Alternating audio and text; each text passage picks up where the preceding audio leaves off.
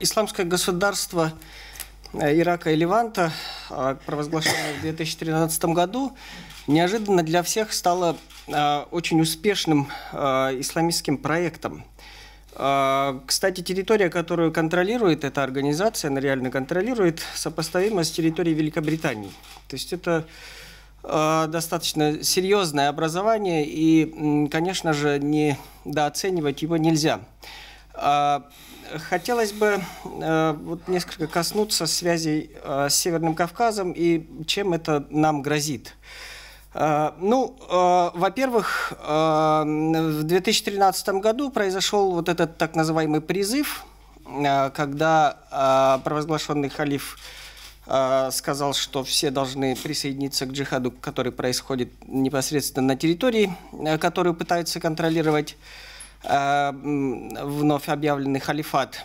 Э, и э, вот этот призыв вызвал рост мухаджирских настроений на Северном Кавказе, как среди непосредственно воюющих, то есть тех, кто вот воевал на стороне Кавказского Эмирата, Эмирата Кавказ, так и среди вообще широких кругов салафитов. Вообще этот призыв и вот такое намеренное накачивание да, мухаджирских настроений, оно не случайно, потому что, э, Кавказ, э, потому что вот этому халифату новому, да, исламскому государству необходимо пушечное мясо.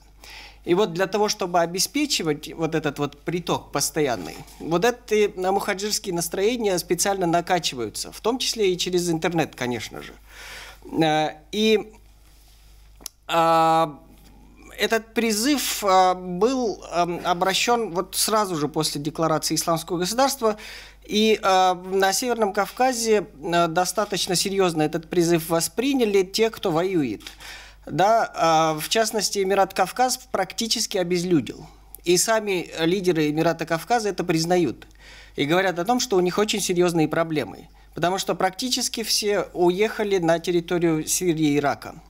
А, сами, а, сами салафиты, сами вот люди, которые близки к этому движению, оценивают долю э, одних только северокавказцев в числе воюющих за, исламский, за исламское государство порядка 7%.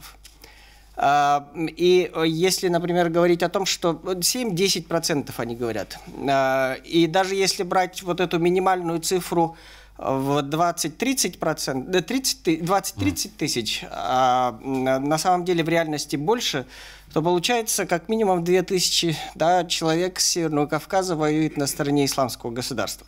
Надо иметь в виду, что не только с территории, например, Северного Кавказа уезжают северокавказцы, но, например, из Ханты-Мансийского округа. Да? Вот э, в селе, село Огузер Кизлярского района дало 4 человека, э, три из них э, уехали с территории российских северов. Что хотел бы я сказать? То есть уже лимит исчерпан. Вот те люди, которые хотели уехать и присоединиться к исламскому государству, они уже уехали и присоединились.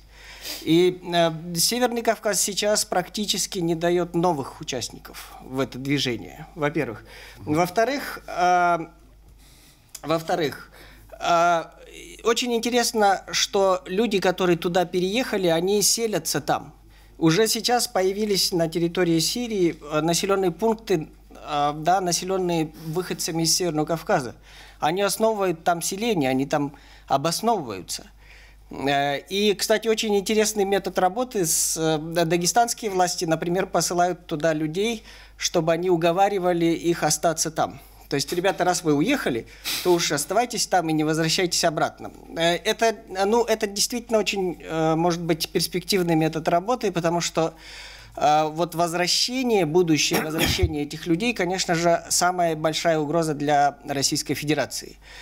Почему это самая большая угроза? Потому что реально в самом Северном Кавказе вот это вот движение, да, исламское государство, халифат и так далее, они не получили э, широкой поддержки среди мусульман региона. Посмотрите на судьбу Эмирата Кавказ, да, который просто деградировал до уровня террористической сети. Они даже никакой территории не контролировали, в отличие от исламского государства, кстати, которое контролирует огромные территории. То есть на Северном Кавказе эти идеи абсолютно не популярны. Все, что мог дать Северный Кавказ, дал. И для России, еще раз повторяю, огромную угрозу создает будущее возвращение вот тех людей, которые присоединились к исламскому государству. И э, угроза э, террористических актов, вот это самая главная угроза, которую мы можем ожидать от э, людей, возвращающихся из исламского государства.